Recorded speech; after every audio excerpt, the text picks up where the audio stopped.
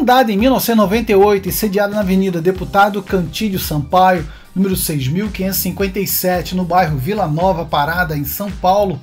a Tai Pastur Transporte Turísticos é uma empresa de fretamentos contínuo eventual que atua na região da Grande São Paulo, Cajamar, Guarulhos e cidades próximas, atendendo a empresas de vários segmentos.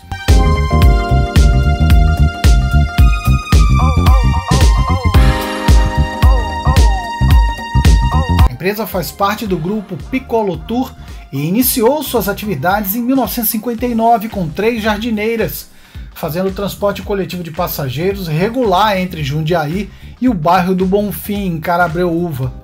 E logo depois passou a atuar no fretamento em Jundiaí região.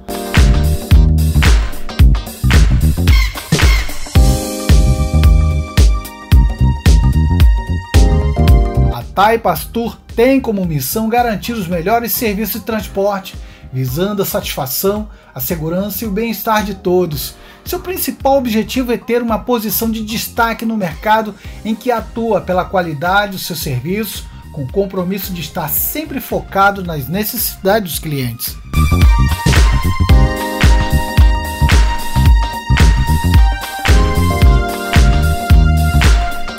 Esta é mais uma contribuição de Fábio Barbosa Daniel, enviada para a página Leonardo Abrantes no Facebook, cujo link deixei na descrição desse vídeo.